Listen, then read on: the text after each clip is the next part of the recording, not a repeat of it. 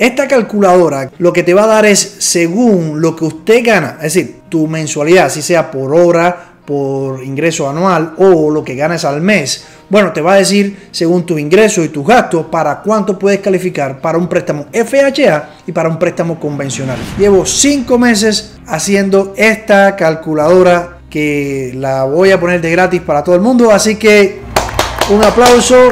Yo tenía algunos clientes que me preguntaban, Juan Carlos, yo lo máximo que puedo afrontar es un pago de 2.500 dólares. Y es por eso que dije, Juan Carlos, ¿por qué no te inventas otra fórmula diciendo, si yo quiero un pago de 2.500 máximo, cuánto era lo que podía calificar esa persona? Y aquí mi gente creé esa otra fórmula hasta que al fin ya casi terminada la tabla que le va a beneficiar a todo el mundo, a los clientes que están queriendo comprar casa y a los realtors que están ayudando clientes a comprar casa y a los prestamistas también. Esta calculadora que estoy casi terminando, lo que te va a dar es según lo que usted gana, es decir, tu mensualidad, si sea por hora, por ingreso anual o lo que ganas al mes. Bueno, te va a decir según tus ingresos y tus gastos para cuánto puedes calificar para un préstamo FHA y para un préstamo convencional. Para que tengas una idea, para hacer esto, yo estuve consultando con prestamistas de bancos diferentes y según me han dicho algunos de ellos,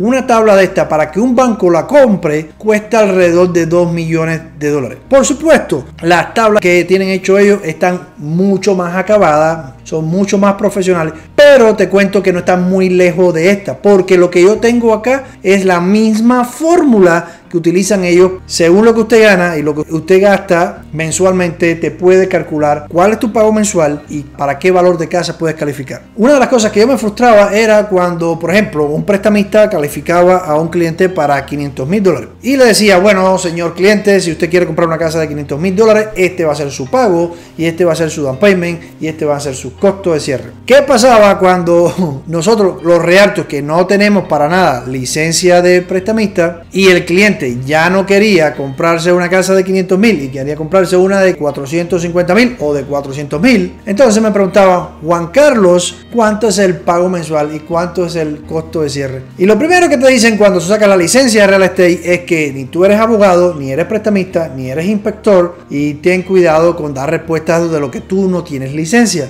Entonces, bueno, te sabes cómo te pone la incógnita. Por supuesto que muchas veces, la mayoría de las veces nosotros decimos, ¿sabe qué? Esa es una muy buena pregunta para el prestamista porque ellos son los que tienen licencia y ellos son los que te pueden decir. Pero entonces, ¡tarán! ¿Qué fue lo que yo creé? Como yo soy ingeniero y me gustan los números y le gusta meterme en la pelusa, la contrapelusa, bueno, me creé una calculadora que me puede dar estos números lo más aproximado posible. Te confieso que no me ha sido fácil ah, ya que he tenido que buscar fórmulas y reformulas de cuál es el interés compuesto. Este interés compuesto lleva más de 5 siglos posiblemente que ya se inventó. Lo que pasa es que hay muchos detalles que los bancos han agregado a ese interés compuesto para poderlo hacer un poco más complicado y por supuesto que dependa de informáticos, matemáticos, etcétera, etcétera. Pero bueno, como ya les dije, a mí me gusta el reto y bueno, Aquí les traigo la calculadora para un Affordability Calculator. Te puedo asegurar sin temor alguna, con mucha humildad,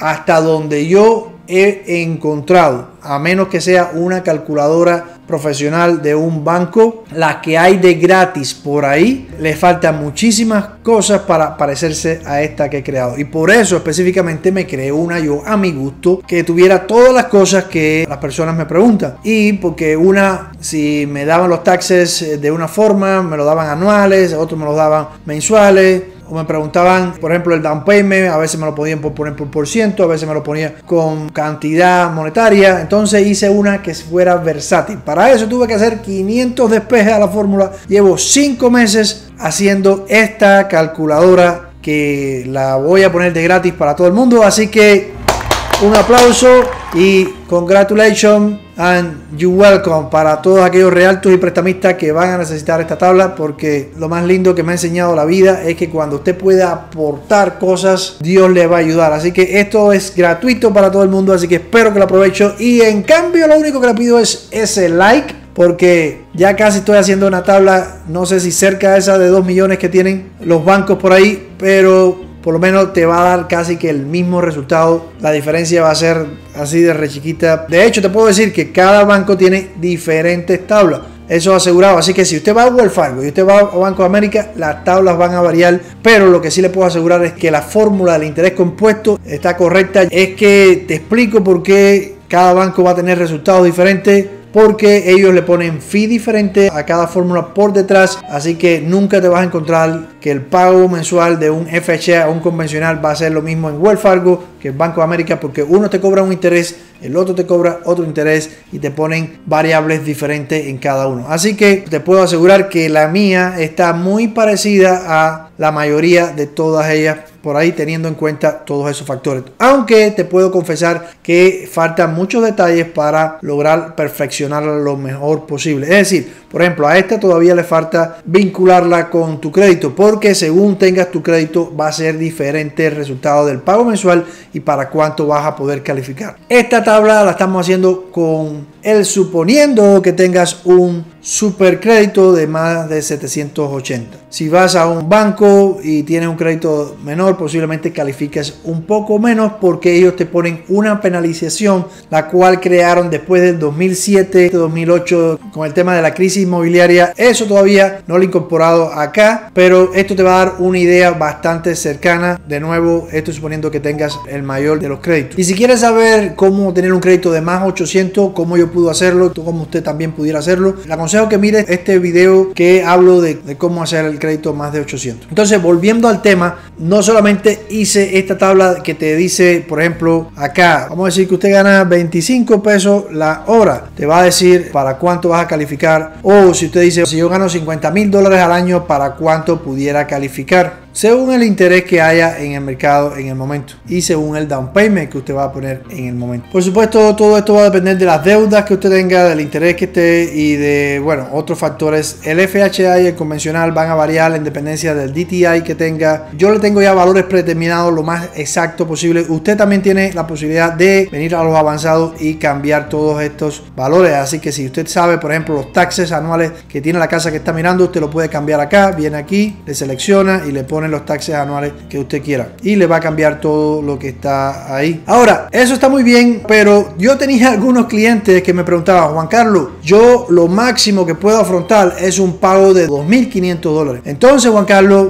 esta tabla ya se me volvía como que inservible porque no tenía ninguna forma de yo poder cambiar el pago mensual de la casa para decirle cuánto era lo que iba a calificar. Y es por eso que dije, Juan Carlos, ¿por qué no te inventas otra fórmula diciendo si yo quiero un pago de 2.500 máximo, cuánto era lo que podía calificar esa persona. Y aquí mi gente creé esa otra fórmula. Para aquellas personas que Juan Carlos, ¿cómo puede encontrar esta fórmula? Las voy a poner en el link de la descripción de este video para que usted pueda comparar. De nuevo, esta fórmula la estoy remodelando. Puede ser que tenga uno que otros errores todavía. Esto te va a dar un número bastante aproximado. Yo la estoy chequeando diariamente. Así que si usted es prestamista y me puede poner en la descripción cualquier cosa que vea que le falte, por favor dígamelo o cualquier número que te dé erróneo. En este caso puse un FH un convencional. Todavía estoy pensando si dejo el FH en convencional porque cuando el pago mensual es el mismo, hay muy poca variación a menos que usted ponga un down payment más del 5%. Si usted pone un down payment para los dos más del 5%, hay solamente una cosita que te va a variar y es el PMI, el Private Mortgage Insurance. Te das cuenta, pudiera variar. La verdad, una de las cosas que yo no he encontrado, si usted es prestamista, te voy a agradecer un mundo que me escribas un mensaje. Si usted supiera cómo que cambia el Private Mortgage Insurance de un préstamo convencional. Por ahora, yo solamente puse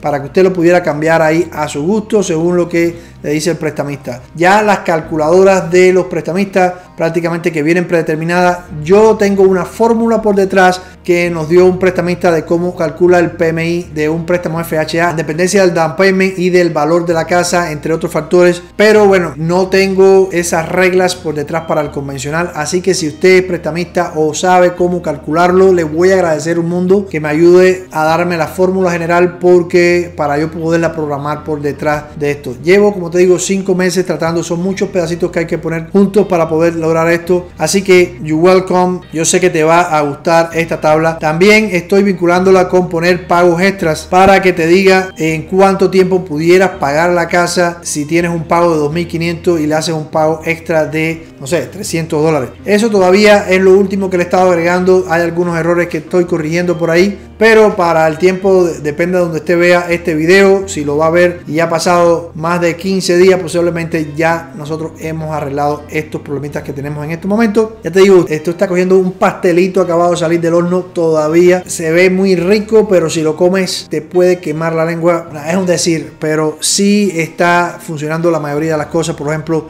lo que es el pago mensual y el préstamo no debe de tener ningún tipo de problema porque eso viene de la fórmula del interés compuesto prácticamente. Y discúlpeme, todavía tenemos un Spanglish mezclado aquí. Aquí dice cuál es el máximo pago mensual que pudieras afrontar. Entonces usted pone su pago mensual y le va a salir el préstamo que le va a tener de independencia de, de nuevo del interés que usted tenga, que esté en el mercado y del de, eh, down payment que usted vaya a poner. Bueno, ya sabe, aquí tiene dos formas de calcular para cuánto usted puede calificar o para si tiene un pago mensual. Usted dice, bueno, este es mi pago mensual, para cuánto voy a calificar según ese pago mensual y si yo gano 50 mil dólares al año, para cuánto voy a poder calificar dependencia de mis deudas. Otra de las cosas que estamos agregando nueva es que si usted le pone, bueno, yo tengo 2.500 como el pago mensual y le pongo 100 dólares extra al pago mensual, según el interés y el down payment que le ponga, le pusimos un desglose de amortización para que usted pueda saber cuánto usted se ahorra y cuánto tiene que pagar de interés. En este momento que usted está viendo este video, este número está erróneo, pero es cosa que vamos a arreglar quizás mañana. Ya cuando usted vaya a jugar con esta calculadora, va a estar esto arreglado.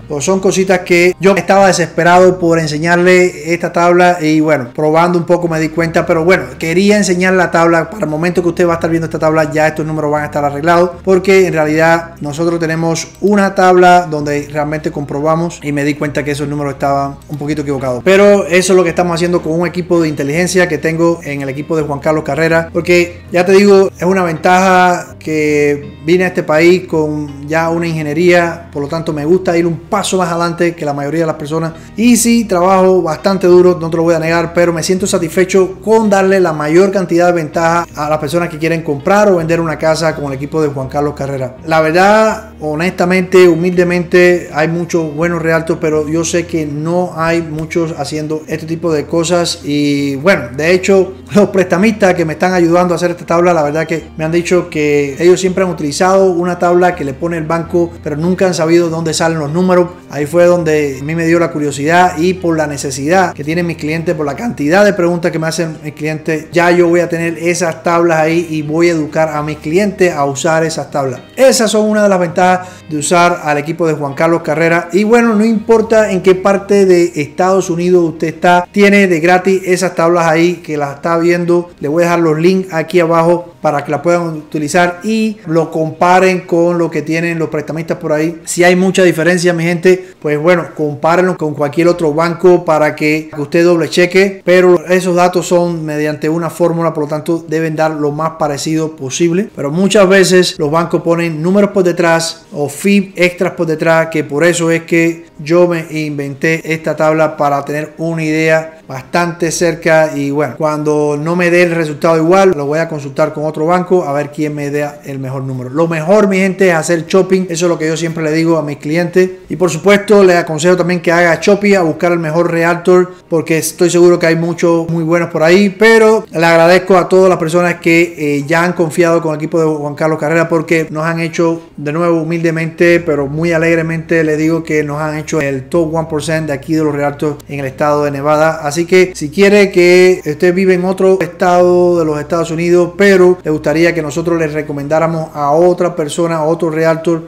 en otro estado, pues con gusto lo podemos hacer. Déjenme los comentarios de qué necesita. Nosotros chequeamos esos comentarios muy frecuentemente y más si lo dejan a las 12 del día cuando salen estos videos de lunes a viernes. Eso ha sido todo por hoy, mi gente. Les agradezco por estar sintonizados, que le dejen un like a este video, un comentario para yo poder saber qué es lo que usted necesita. Critíqueme esas tablas porque eso me va a ayudar muchísimo y el que no lo critican, nadie lo conoce y nunca ha tenido el sabor del éxito. Así que para mí va a ser un placer que usted me diga en qué puedo mejorar. Nos vemos en un próximo video. Chao.